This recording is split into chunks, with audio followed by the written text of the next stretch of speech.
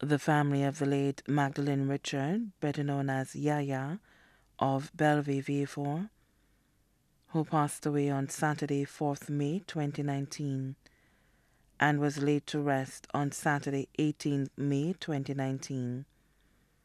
Would like to take this opportunity to thank all who called, sent cards and wreaths, assisted in the kitchen, made contributions, attended the funeral service, or in any way sympathized with them during their time of bereavement.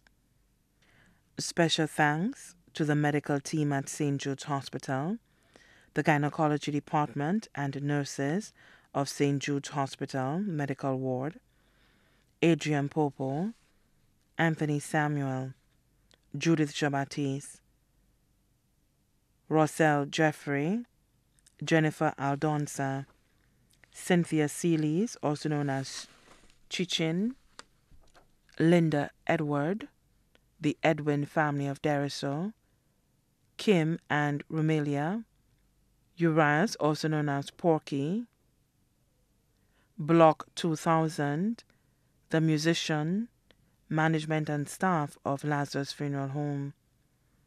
Once again, thanks to one and all.